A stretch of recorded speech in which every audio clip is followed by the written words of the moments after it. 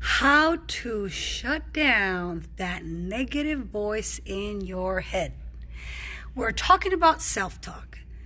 Hi, it's your transformation coach, Irma from Transformation Academy. I get busy CEOs in the best shape of their lives and busy mothers their glow back.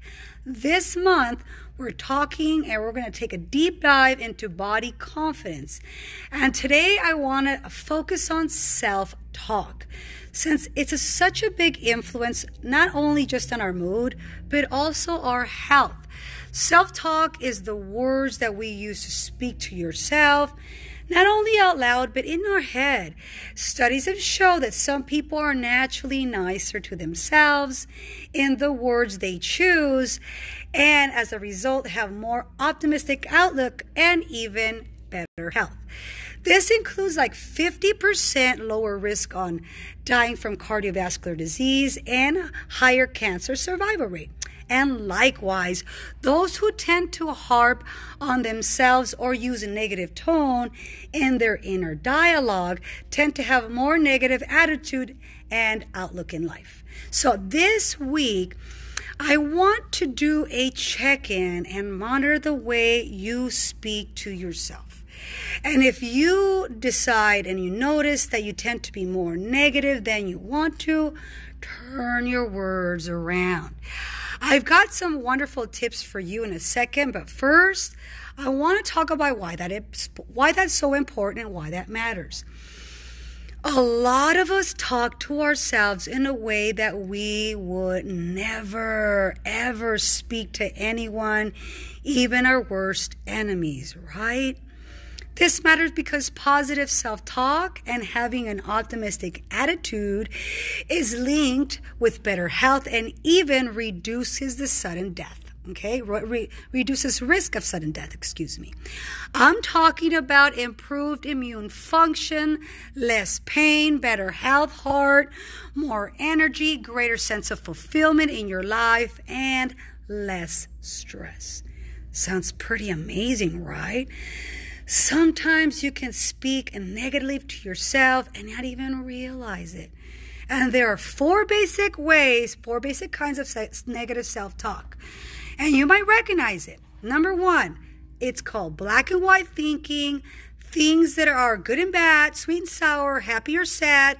There's no room for middle ground. This is really rigid the way to look at things. Number two, personalizing the things around you. Basically, this is blaming yourself for everything that happens. Number three, only focusing on the negative uh, the negative of situations. Number three, only focusing on the negative situations. And number four, everything feels like a catastrophe. This is when you expect the the worst from everything and feel constantly under attack or threat. And none of those sound like fun right? So, this week, let's check in with ourselves. And if you find like you're going very negative, Nancy, or going towards the dark side, turn it around. Here are some tips to help you retrain your brain to hear some positive self talk every day.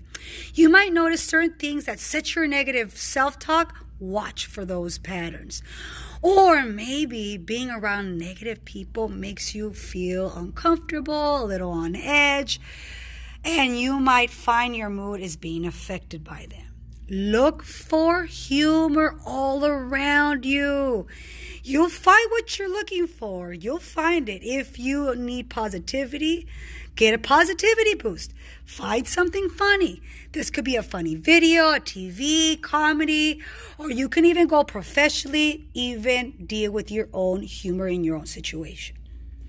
Find positive people to support you and hang out with or follow on social media. Find quotes or affirmations that have a meaning for you and then repeat them over and over to find yourself feeling less negative. Okay? Your inner dialogue is like your life's internal soundtrack. You deserve to hear something amazing every day.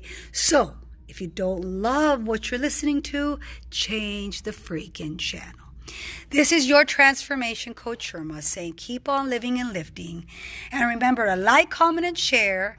And stay tuned for more motivational tips. If you need some help getting back to the basics, I could set up a mind mapping session on one on one coaching to help you get to the next level, your fitness level. This is Coach Irma saying keep on living and lifting. Simply like and comment, and we can reserve a spot for you. Yes, we can.